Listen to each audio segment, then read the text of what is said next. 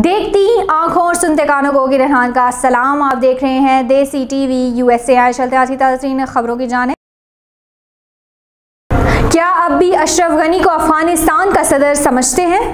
Washington तर्जुमान अमरीकी महकमा हारजा नेट प्राइस न्यूज़ ब्रीफिंग के दौरान सहाफ़ी के पूछे गए सवाल कि क्या अमरीका अब भी अशरफ गनी को अफ़गानिस्तान का सदर समझता है के जवाब को गोल कर गए? कहा कि इकतदार की बाबा मुंतकली ताहाल नहीं हुई। नेट प्राइस ने कहा है कि अफ़गानिस्तान में इकतदार की बाबा मुंतकली पर हम आलमी बरदरी के साथ काम कर रहे हैं। नई अफगान हुकूमत के साथ ताल्लुक इकदाम पर मनहसर है। दुनिया की सबसे तेज़ गोली फायर करने वाली गन तैयार। न्यूयॉर्क दुनिया की सबसे तेज़ गोली फायर करने वाली गन तैयार कर ली गई है, जिसे जल्द फरोख्त के लिए पेश भी किया जाएगा। इस गन से एक सेकंड में 200 फीट दूर तक गोलियाँ फायर की जा सकती हैं। काबुल एयरपोर्ट से उड़ान भरने वाले अमरीकी तैयारे में कितने लोग मौजूद थे?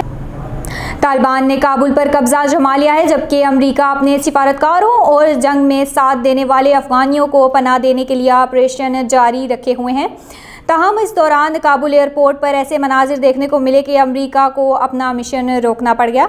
सोशल मीडिया पर शेयर होने वाली तस्वीर के मुताबिक अमरीका का सी सत्रह तैयारा काबुल एयरपोर्ट पर पहुँचा तो इसमें सवार होने के लिए लोगों का समंदर उमंड आया। ताहम जहाज़ में एक हद तक ही लोगों को सवार किया जा सकता था। जहाज़ ने जब उड़ान भरने के लिए रनवे पर दौड़ना शुरू किया तो बहुत से लोग इसके परों और टायरों के साथ लटकने की कोशिश करते रहे। इसके बाद ये खबर भी आई के तीन अफराद की जहाज़ से गिरने से मौत भी हो गई। हमने अफगान फौज को सब कुछ दिया, लेकिन लड़ने का हौसला नहीं दिया। अमरीकी सदर जो बाइडन ने कहा है कि अफ़गानिस्तान से अमरीकी फ़ौज की वापसी का फैसला दुरुस्त था और इस फैसले पर शर्मिंदगी नहीं है। तफसीत के मुताबिक काबुल पर तालिबान के कब्ज़े के बाद अमरीकी कौम से खिताब में सदर जो बाइडन ने कहा है कि इन्होंने अशरफ गनी को मशवरा दिया था कि वो तालिबान से मुजाकर करें, मगर इन्होंने इससे साफ़ इनकार कर दिया और कहा कि अफगान फ़ौज तालिबान से लड़ेगी, मगर ज़ाहिर है वो गलत निकले। अमरीकी सदर ने कहा है कि अफगान रहनुमा हौसले छोड़ गए और मुल्क से भाग निकले। हमने अफगान फ़ौज को सब कुछ दिया, मगर इन्हें लड़ने का अज़म और हौसला ना दे सके। सऊदी अरब का तालिबान के लिए पैगाम सामने आ गया।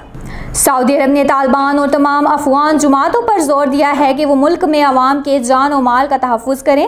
अरेबिया न्यूज़ के मुताबिक सऊदी अरब की वजारत हारजा ने तालिबान के अफगान दारकूमत काबुल में दाखिले और कंट्रोल के एक रोज़ बाद सोमवार को ट्विटर पर पहला बयान जारी किया है और कहा है कि सऊदी अरब अफगान अवाम के किसी बैरूनी मुदाखलत के बगैर इंतबात के साथ खड़े हैं। नाजिन इसी के साथ देसी टीवी यूएसए से खबरों का वक्त ख़त्म हुआ जाता है। हर दिन के आगाज़ से, हर दिन के अख्ताम तक देसी टीवी यूएसए रहता है। हर पल आपके साथ मजीद अपडेट्स के लिए विज़िट करें हमारी वेबसाइट कॉम और क्लिक करें हमारा लिंक ट्री हमें फेसबुक इंस्टाग्राम और ट्विटर पर करें फॉलो क्योंकि आपकी मोहब्बत आपका साथ हमारी हौसला अफजाई करता है और हमसे जुड़े रहने के लिए हमारे चैनल को सब्सक्राइब और बेल आइकन दबाना ना भूलें। कि वॉचिंग देसी टी वी अल्लाह हाफिज़।